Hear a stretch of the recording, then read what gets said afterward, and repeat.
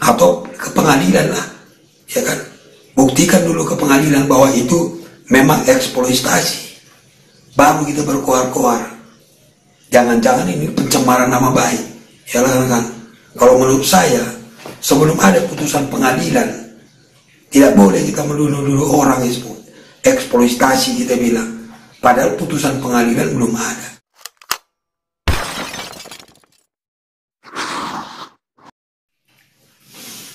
Assalamualaikum warahmatullahi wabarakatuh.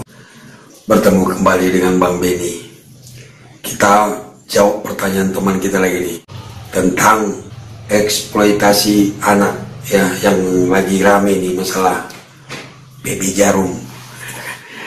Yang oleh KPAI dituding melakukan eksploitasi terhadap anak-anak itu. E, Banyak yang bertanya jadi kita coba jelaskan dari hukumnya ya, dari segi hukumnya.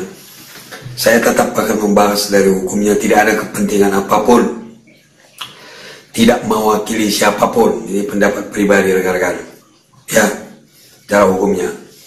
Jadi, yang dituduhkan itu adalah pasal 66 Undang-Undang 35 tahun 2014 tentang perlindungan anak, ya kan?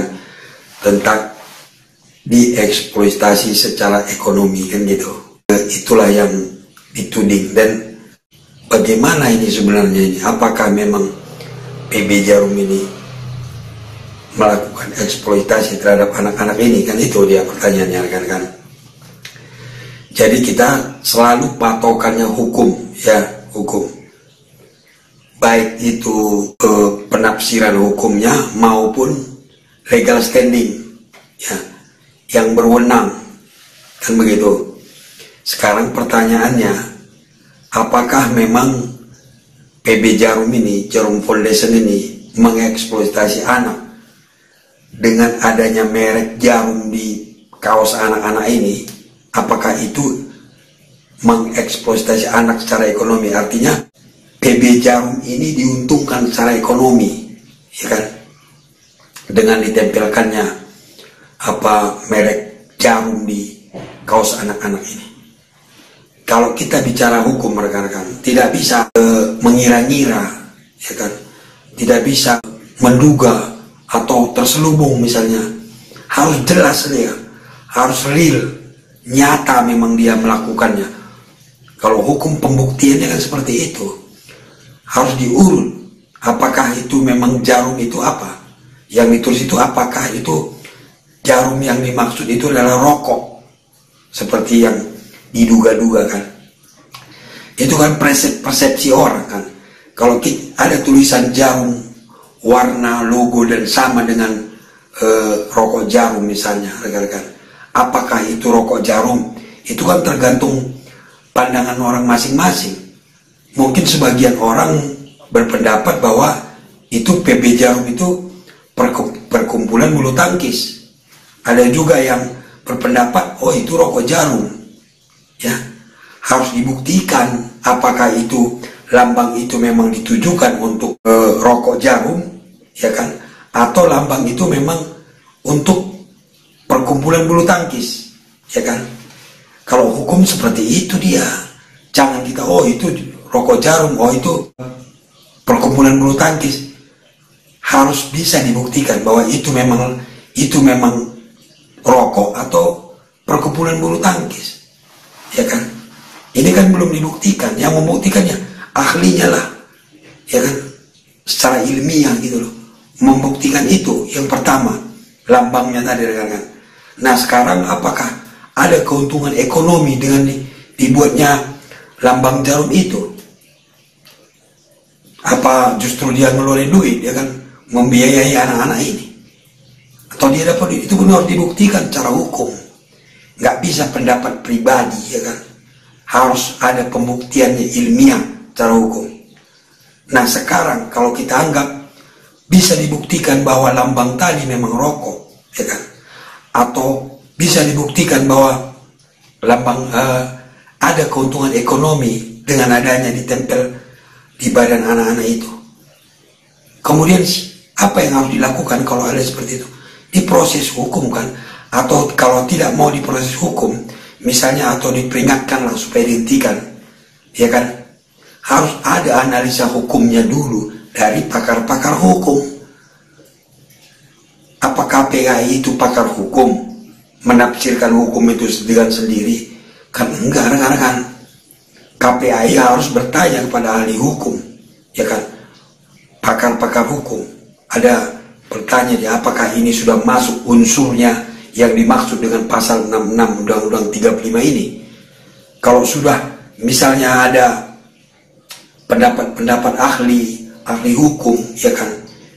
Dengan analisa hukumnya yang paten mengatakan bahwa itu termasuk melanggar pasal 66 Undang-Undang 35 baru mungkin bisa KPI menyurati eh, PB Jarum dengan alasan pertimbangan hukum dari ahli-ahli tadi. Bukan pendapat pribadi hasil penelitian kami begini-begini. Mereka bukan ahli hukum kan kan? Atau ke pengadilan lah ya kan? Buktikan dulu ke pengadilan bahwa itu memang eksploitasi. Baru kita berkoar-koar jangan-jangan ini pencemaran nama baik. Ya kan? Kalau menurut saya sebelum ada putusan pengadilan tidak boleh kita menuduh-nuduh orang itu. Eksploitasi kita bilang. Padahal putusan pengadilan belum ada. Ini negara hukum, ya kan? Saya terlepas daripada apa eh, apa namanya masalah anak-anak ini nanti terbengkalai, ya kan? Itu sudah pasti. Tapi saya nggak masuk ke sana, rekan-rekan. Saya hanya masuk ke hukumnya. Jadi kalau kita membahas hukum harus ada analisanya dan kalau kita memberikan pendapat, tentunya pendapat-pendapat ahli. Pakar-pakar hukum mengatakan itu eksploitasi. Baru mungkin bisa kita mengingatkan, ya kan? Bukan menuduh. Kalau menuduh, itu sudah fitnah namanya. Harus ada dulu apa putusan pengadilan yang menyatakan itu adalah eksploitasi baru kita boleh sampaikan kalau nggak fitnah namanya tapi kalau mengingatkan ya kan bahwa ini nanti bisa begini, begitu, begini. Alasannya pakar hukum ini kami sudah ada alasan analisa hukum kuat. Baru mungkin bisa dikatakan. Jadi negara hukum ya harus begitulah. Jangan suka-suka aja kita nuduh-nuduh orang ya kan. Saya nggak uh, berpikir ke mana-mana ya kan. Mungkin banyak juga ini komen-komen ke saya ya bahwa jangan-jangan ada udang di balik batu segala macam katanya. Saya nggak ke sana rekan-rekan ya kan itu urusan yang lain lah. Tapi secara hukum harus ada pembuktian dulu baru kita nuduh orang. Ya. Tapi kalau kau kalau kita mau mengingatkan, ya kan, bolehlah kita mengingatkan. Tapi ada juga analisa hukumnya karena kita bicara hukum, yaitu pasal 66 Undang-Undang 35 tahun 2014 tentang perlindungan anak ini. Ya, mudah-mudahan ada manfaatnya pembahasan kita ini rekan dan ini adalah pendapat pribadi saya, pendapat Bang Beni. Barangkali ada yang berbeda, silahkan aja. Semuanya tergantung putusan hakim. Kalau kita sudah uh, masuk ranah hukum, putusan hakim lah yang menentukan apakah melanggar pasal atau tidak. Begitu rekan-rekan. Tetap semangat, tonton channel Bang Beni supaya kita bertambah wawasan meskipun sedikit dan terhindar dari kesewenang-wenangan. Assalamualaikum.